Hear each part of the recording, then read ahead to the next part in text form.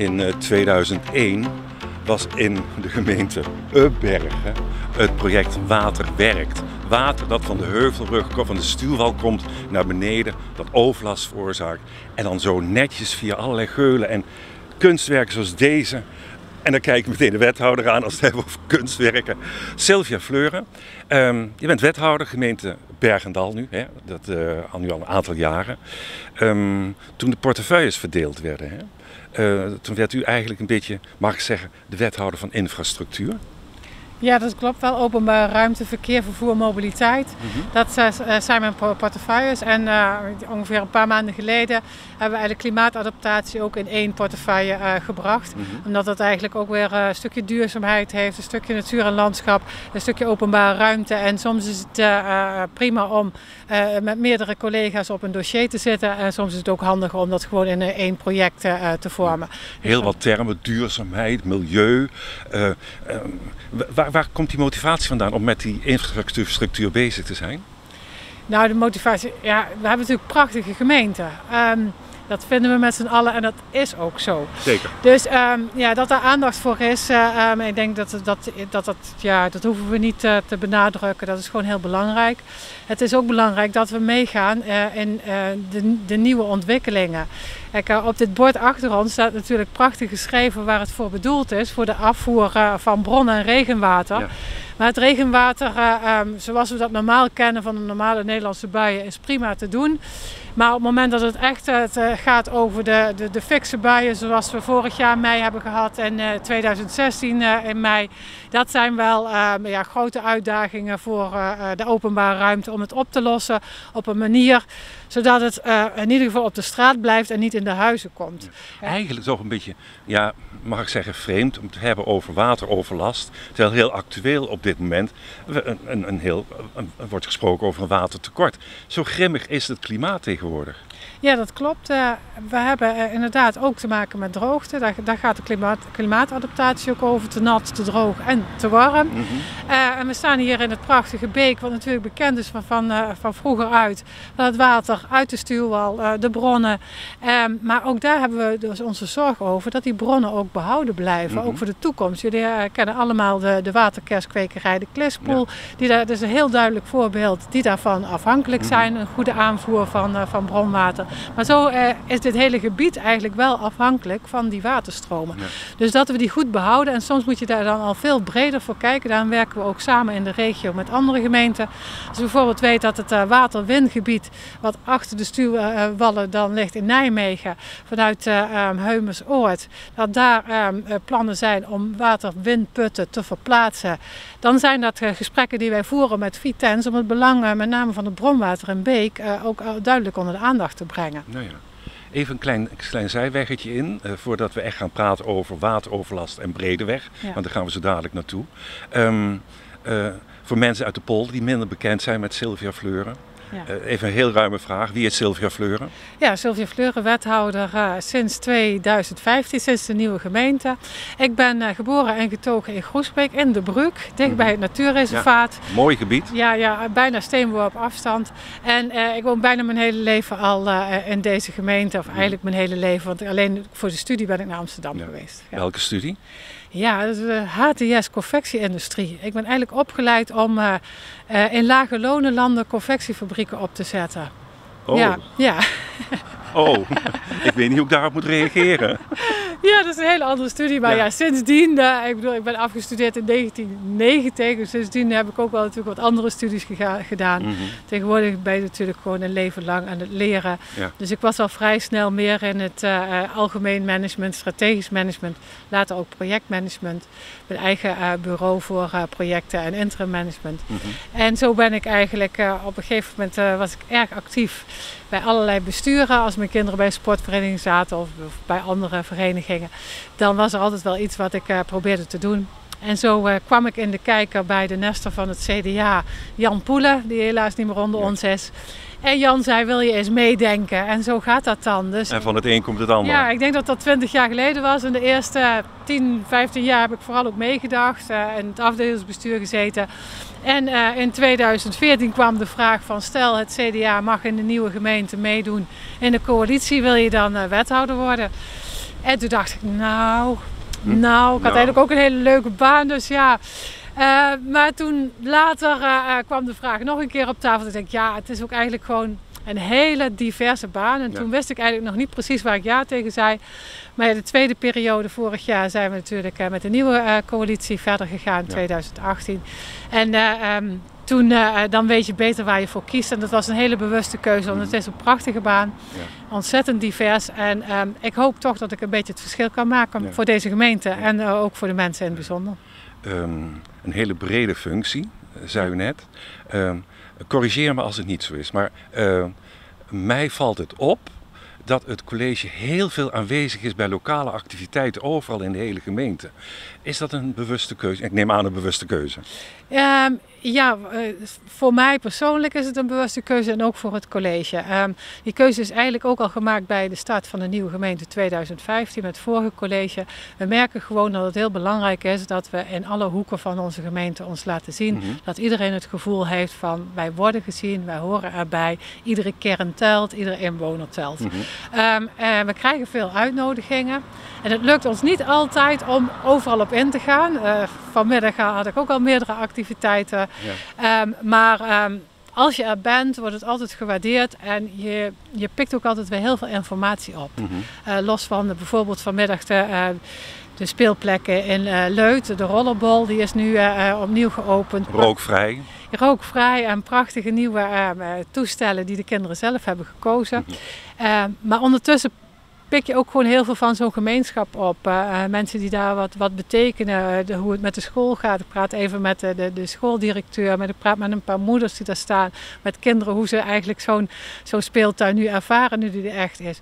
Het geeft mij heel veel informatie, Mhm. dus eh, ehm, ik denk dat het van, van beide kanten waardevol is om te doen, om te blijven doen. Ja. Oké, dit was even een klein zijstraatje. Ja. We gaan van geschiedenis gaan we naar de actualiteit. En daarvoor gaan we naar Bredeweg. ja, dat klopt. Want wat is daar aan de hand? Nou, de Bredeweg heeft een eh, eh, grote mate van eh, problematiek over de wateroverlast. Kijk, zolang we het zo houden zoals het nu vandaag is, is er geen probleem. Maar de situatie die hier in, in Beek ook duidelijk bekend is, ja, het water komt toch altijd van boven naar beneden. Hè? ja. En deze mooie, dit mooie kunstwerk staat wel, het kan ook naar boven, maar daar moet je toch echt wel wat voor doen. Dus standaard gaat het water toch echt van boven naar beneden. En in, in Bredeweg heeft dat geleid tot eh, ehm, een aantal huizen die eh, aard- aardig ondergelopen zijn, kelders die ondergelopen zijn. Ja, veel eh, eh, modder op straat. En ehm, zolang het bij modder en water blijft, eh, ehm, kunnen mensen best veel hebben. Maar ehm, zodra dat wat in de, in de wc weggespoeld is bij de buren, bij een ander in Ja. de kamer stroomt, dan snap ik dat mensen dat niet meer prettig vinden. En dus hoog tijd dat de gemeente daar wat aan gaat doen. En Ja. wij gaan nu naar Bredeweg.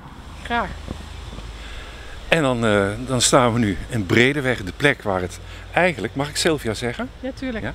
Eh, waar het om gaat, Sylvia. Want hier in deze tijd van watertekort, toch praten over wateroverlast, hier is de problematiek echt groot. Ja, dit is een van de prioriteiten in onze gemeente naast eh Heilig Land Stichting en Beek. Eh in Bredeweg zijn we inmiddels gevorderd met een, een gezamenlijk traject met het waterschap. En daar proberen we ook de inwoners van eh, de Bredeweg mee te, bij te betrekken. Ja, vertel eens, wat, wat is de kern van het probleem hier? Ja, de- we kijken hier, als we naar achteren kijken, zien we natuurlijk het heuvellandschap. En dat is eh, prachtig. Daar zijn we ook mega trots op met z'n allen. Ja. Maar het probleem is wel dat het water hier bij eh, die grote buien die we hebben gehad eh, in 2016 en 2018 echt de kern in gutst.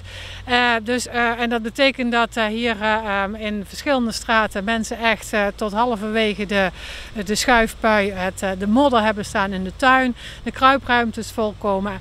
En eh, dat probleem gaat eigenlijk door de hele brede weg heen tot en met de buurtmarkt aan toe. Aan de andere kant van eh, de kern brede weg waar we nu staan.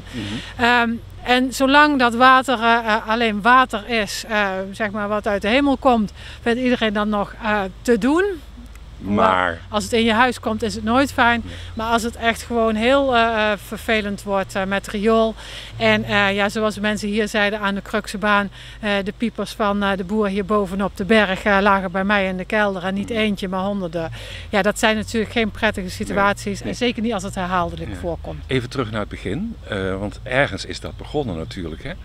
Is, zijn de bewoners van Bredeweg naar de gemeente gestapt met klachten? Hoe, hoe is dat begonnen?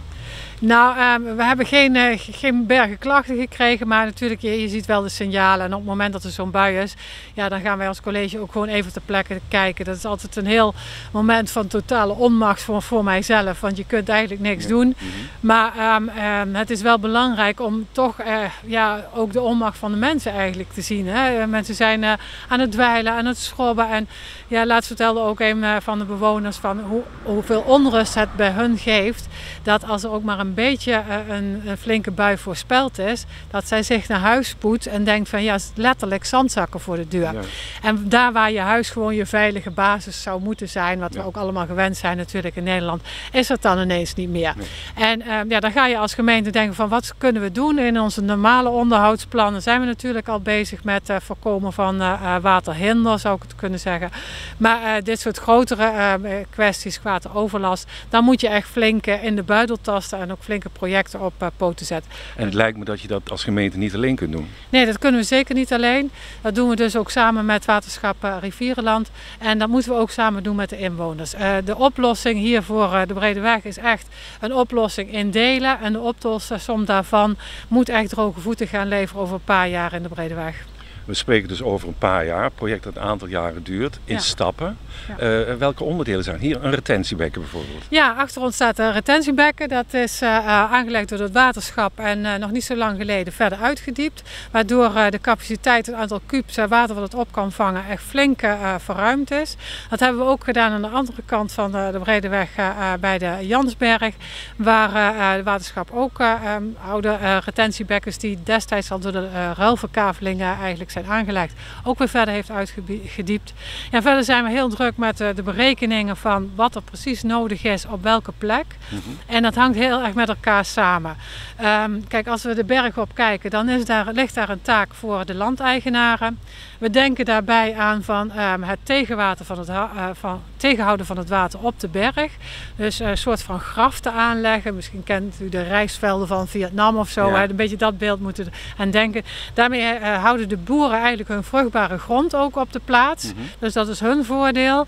En uh, um, wij hebben eigenlijk een, een, wat kleinere vorm van opvang van, van water in... Um, ja, in graften, zoals men dat noemt. Nou, dan ga je verder de kern in. Dan uh, kijk ik hier bijvoorbeeld naar de, uh, de Knapheidenweg. Uh, die straat die moet um, ja, een keertje goed opgeknapt worden. Het is nu een beetje een uitgestukte wegdek. Mm -hmm. aan dat wegdek kun je ook weer wat aan helpen door dat iets anders te plaatsen. Um, zodat het, het water daar ook weer, als het water waar het tegen een drempel aankomt. Ik kijk hier naar de sloten die een capaciteit hebben voor uh, de opvang van water. En aan de overkant van uh, um, de Knapheideweg hier uh, bij de Hoek Hemeltje, daar is een gedeelte is grond van de gemeente. Dat gaan we ook inrichten als retentiebekken. Okay. -hmm. En we hebben de bewoners gevraagd vooral ook met ons mee te werken op het gebied van het vergroenen van hun tuinen. En dat doen ze graag? Um, uh, ja, dat, de, ik kan me niet voorstellen dat ze dat niet graag doen. Want we hebben laatst een, een eh, bijeenkomst gehad in de, de Sleutel, een prochtiehuis hier in deze kern. En daar waren 130 bewoners, wat ook al aangeeft uh, dat het zo gewoon wel heel erg leeft. En de, en de, ja, de, de urgentie is heel erg duidelijk. Dus ja, iedereen is daar in tafels met elkaar in gesprek gegaan. Wat kun je zelf doen? Wat kunnen we verwachten van het waterschap? Wat kan de gemeente doen? Ja, en in dat proces zitten we nu. En liever vandaag dan morgen een, uh, daarvan een, een, resultaat. Helaas gaat het niet zo snel. Maar wat we uh, wel al kunnen oppakken binnen onze budgetten en binnen onze mogelijkheden voor de rest, dat gaan we ook wel snel oppakken. Eigenlijk met andere woorden te zeggen, al die maatregelen zijn erop gericht om zeg maar, de toestroming van het water te vertragen. Klopt dat? Ja, dat klopt. En uh, dat helpt dan ook weer uh, voor het uh, niet te droog worden uiteindelijk. Want we hebben best extreme situaties gehad de afgelopen jaren. en hoe, hoe, meer water je vasthoudt tussen Klein-Amerika, de berg waar, waar je nu bij staat, en de buurtmarkt, hoe minder daar uiteindelijk daar terecht komt. En dat, dat water gaat nu eigenlijk naar ja, de, de, de diepste punt, daar waar het het makkelijkst naartoe kan gaan. En dat stroomt bijvoorbeeld op bij de Acaciastraat een pleintje wat um, ja, precies in de toeloop van dat water zit. En bij de buurtmarkt, bij andere plekken waar je het eigenlijk gewoon niet wil hebben. Nee. Een huisje van 300 jaar oud wat net even lager gebouwd is dan de rest van de kern. Nee. Is dan de dupe Ehm, en hoe meer water we inderdaad tegen kunnen houden in, het eerdere proces, hoe, hoe, beter het is. En vooral veel ehm, investeren in retentie en het vergroenen. Even tot slot toch nog een persoonlijke opmerking. Ik moet denken aan het begin van ons gesprek. Toen zag ik je als student confectie nog wat in Amsterdam op een kamertje. Niet gedacht dat je ooit hier uh, een soort watermanager van de gemeente Bergendal zou worden. Ja, dank je voor die titel, dat is een mooie titel. En we hebben het thuis met onze kinderen ook wel eens over. Ik ben moeder van drie kinderen en uh, met mijn man samen. Uh, van, ja, het is wel een bijzondere loop van omstandigheden. Um, maar um, alles wat ik heb gedaan in uh, de rest van mijn uh, loopbaan helpt mij om te kunnen doen wat ik nu doe. Dus ja, ik, ik vind het een hele mooie manier om een bijdrage te leveren aan deze samenleving. Hartelijk dank voor de bijdrage aan BD1. Dankjewel, graag gedaan.